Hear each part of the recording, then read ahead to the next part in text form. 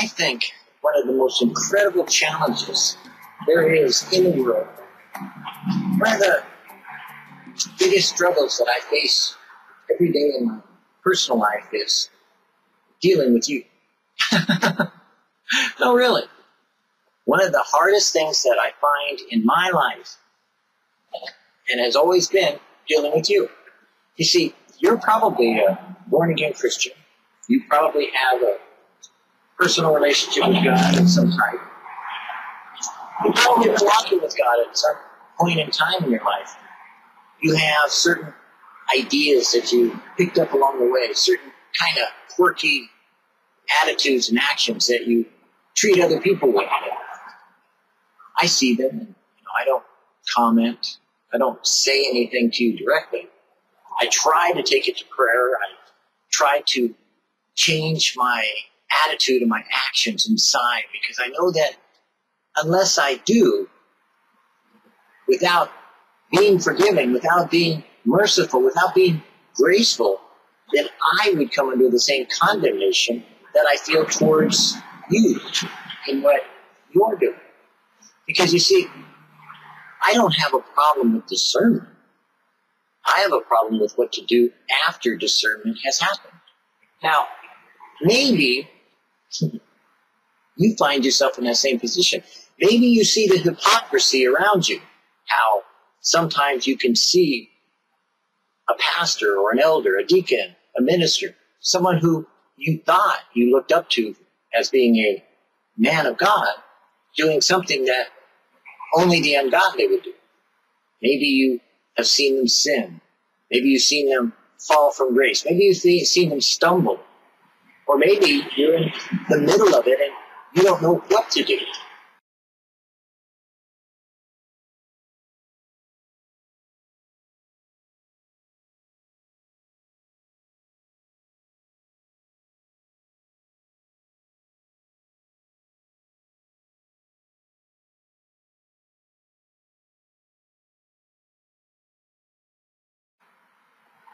and then you want to judge them accordingly.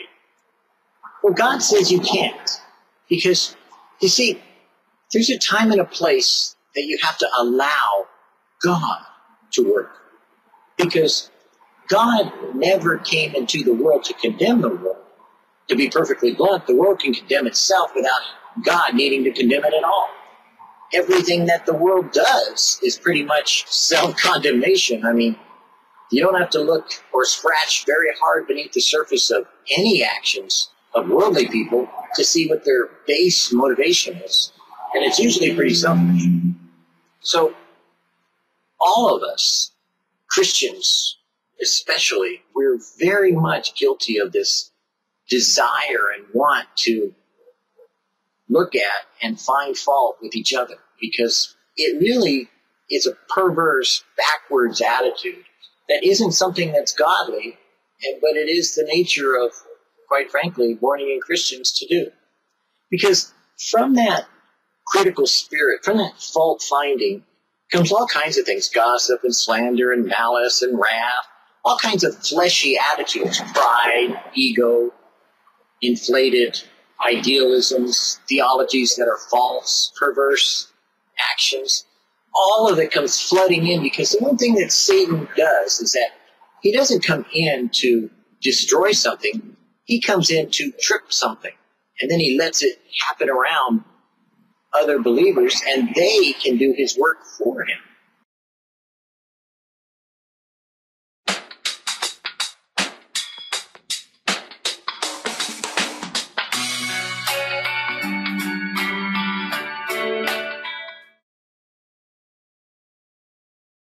because we're not so good in the restoration part, but we are good in the condemnation arena. We know how to put the thumbs down rather than put the thumbs up. Whenever we see, supposedly, as the scripture says, a brother or sister in a fault, then we're supposed to go to them in private, you know, to minister to them, you know, in private, to try to get them to understand where we're coming from. But we're never told how to approach that subject. And the one thing that I see a failure of, because I have seen that work accurately, is that the person who's seeking to go to that person usually hasn't quite cleared it up in their own mind and conscience yet. Because whenever you see someone in a fault, you may find the fault in yourself. So, one of the questions that I always ask myself, because believe me, the hardest thing in my Christian walk, the greatest struggle I have, the biggest stumbling block that I see in front of me always is another Christian.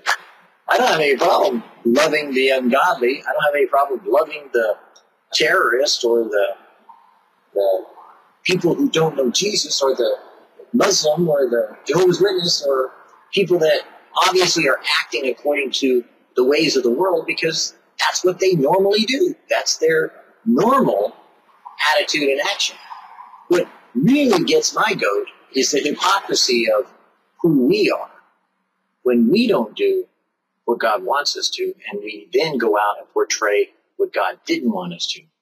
That always stumbles me, and I have to wrestle with it daily. As a matter of fact, it happens pretty regularly. It's even happening now or all around me.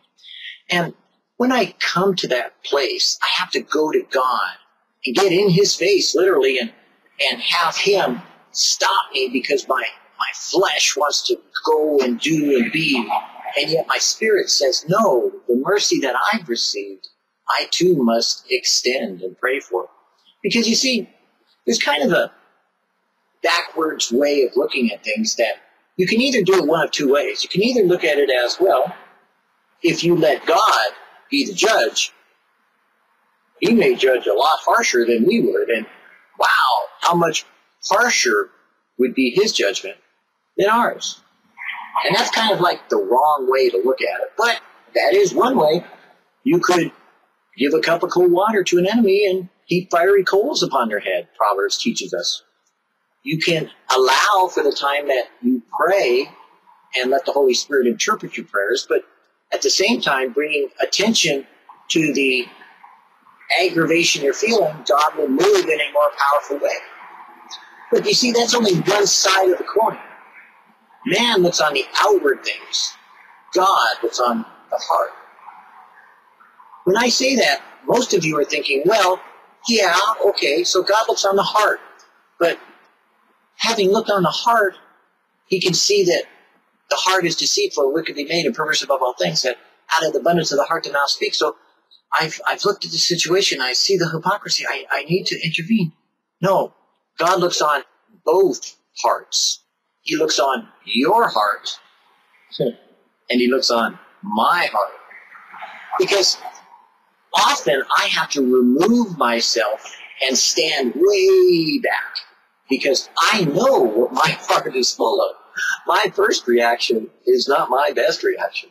So I go out of my way to plead with the Holy Spirit, to ask God to change my heart, to search me and see if there be any wicked way in me, to observe my attitudes as they are wrong, and I always know they are, as I try to work through the circumstance and change my attitude before I could ever deal with the situation that is presented in front of me. Now, whenever I have had to go to the person, I have always been brought through that process before I ever went to the person.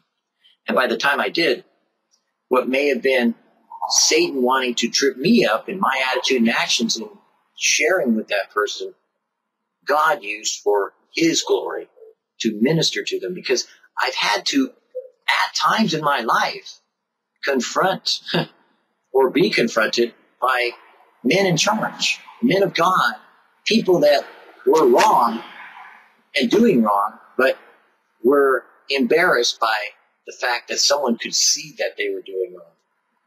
And so, when confronted, you can't deal with the issue on the surface. You have to recognize God is the one who deals with the heart. You don't you always pray that the grace of God, the mercy of God, the forgiveness of God be extended and that the Holy Spirit work on the person to convict because that's not our job. We can't play Holy Spirit. We can't play convictor of sin. We can't judge our brothers. As a matter of fact, we're called to love our brothers, and that's why I said, you know, the biggest struggle of my life is, quite frankly, you. and it really is, because when you're, you know, gaga and go-go and good about loving the Lord your God, then I perfectly accept what you're doing. You know, and it's like, oh, so easy to do. But then when I see the contradictions, the sin, the hypocrisy, or some way of like being challenged by not doing the right thing, but going out of your way to do the wrong thing, then it presents to me a dilemma. And quite frankly, puts me in a tough spot. But you see, that's where we get to step back.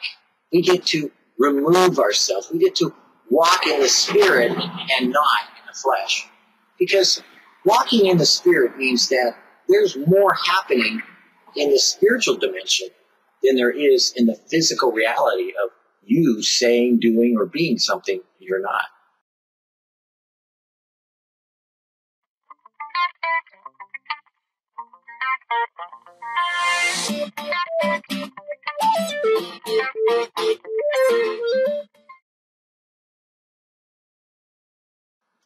That's the beauty of what the Holy Spirit is. He can go inside of a person and deal with the root issues that you can't see in the heart of man. I myself have always had to step back to ask God to do what I cannot do, to intervene where I cannot go, to speak the words that I cannot say.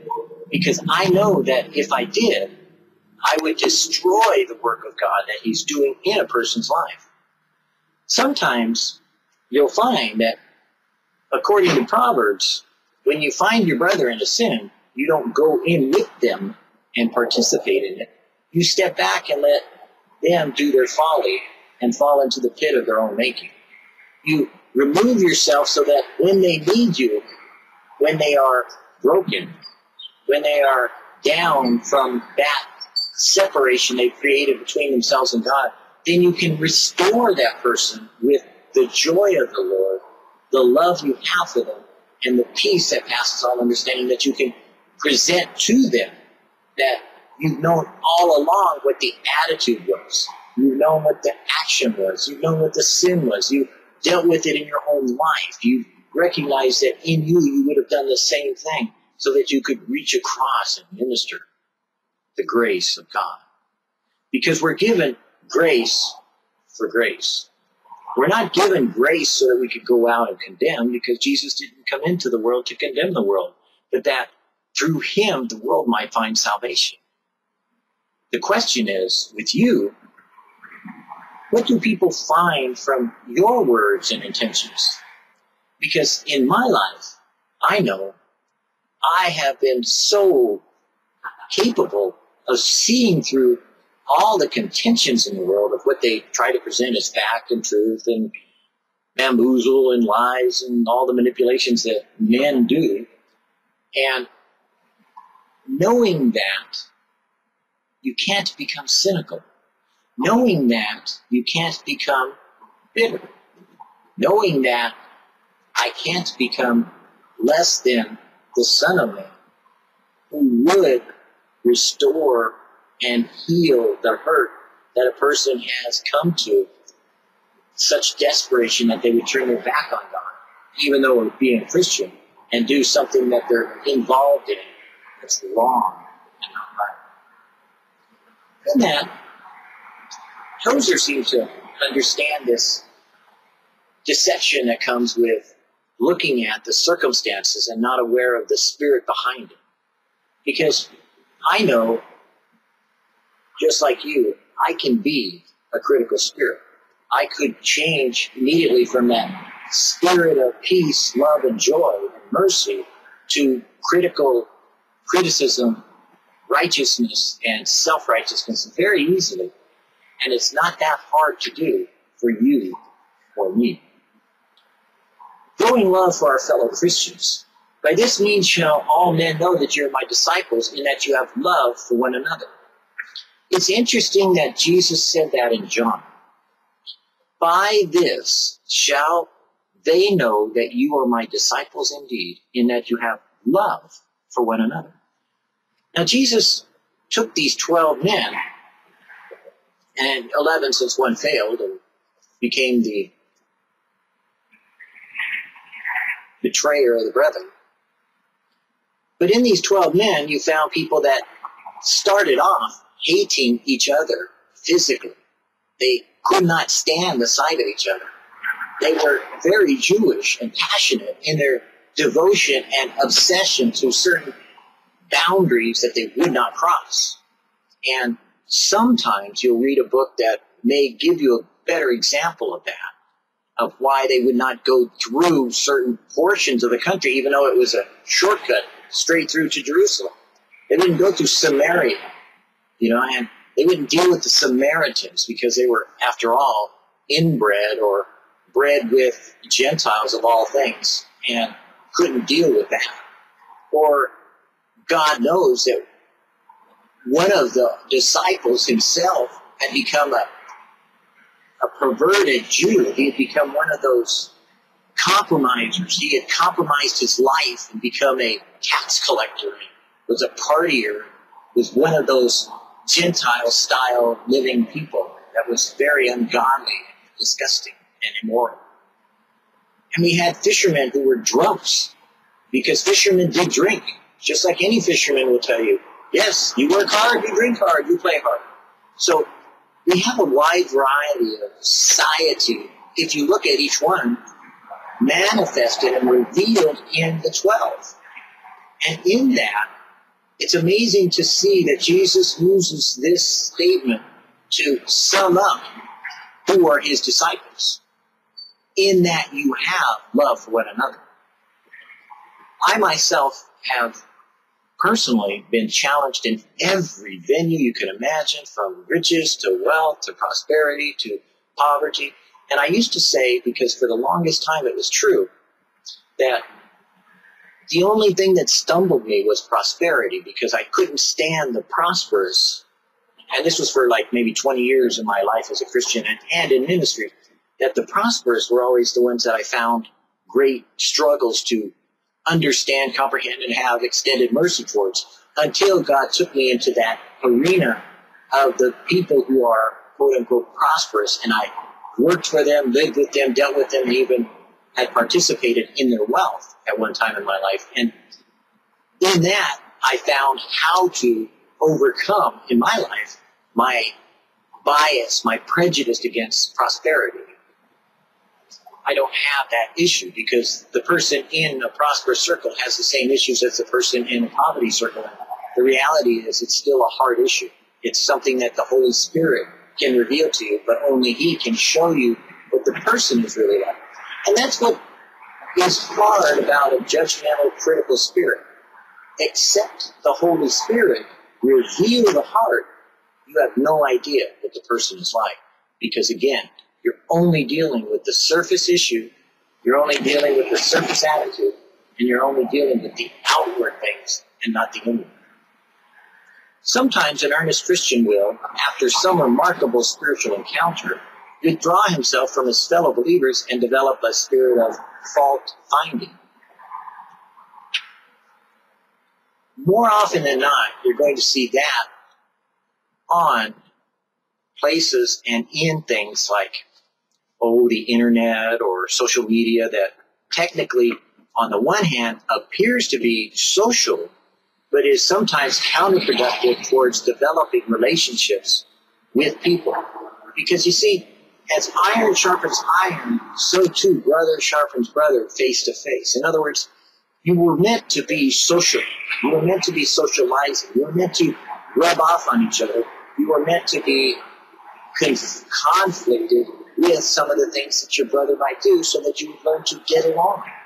You're meant to play in the sandbox together. It sounds a little strange, but it's true. You were meant to serve one another. You're meant to love one another. You're meant to prefer one another as greater than yourself. Not to be saying that you're serving your brother by the ministry and pretending that the ministry is serving your brother. It's not. Ministry is very self-serving and self-satisfying because God manifests himself in that ministry and you are blessed because God is using you. So it's a very selfish, self-centered way of receiving a blessing to be able to share that truth with others, but it's not serving your brother. The ministry has never been that. The ministry is one where you take physically yourself and lay your life down for your brother, where you go and wash their feet, where you go and heal their broken heart, where you go and give them of your sustenance in your life, the very physical manifestation of Jesus to them.